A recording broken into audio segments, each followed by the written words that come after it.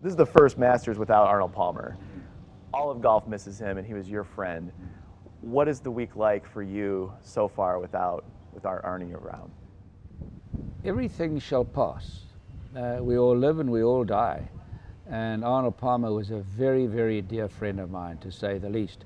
Uh, we traveled the world extensively for many, many years. We had a friendship for 60 years at least.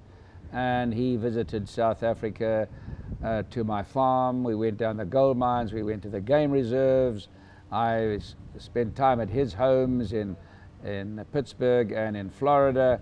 Uh, flew in a lot in his aeroplane with him. And Arnold, I always called him Tarzan because he, he liked to have his drinks and he liked to smoke and he never ate very well. He just ate, really wasn't very, uh, we say, finicky about his eating. And whereas I said to him, I said, if, if I did what you did, I wouldn't even live to 70. So I called him Tarzan and I said, I'm Jane. I mean, I have to exercise, I have to sleep, I don't want to drink, I don't want to smoke, and I watch what I eat. And uh, so it was fascinating. We had many laughs together and we cried together. Dying is not a tragedy, dying is a celebration.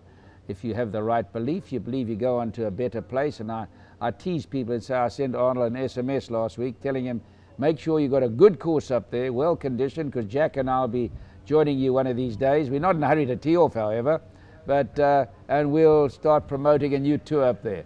So everybody has a different idea about death, don't they? Don't they?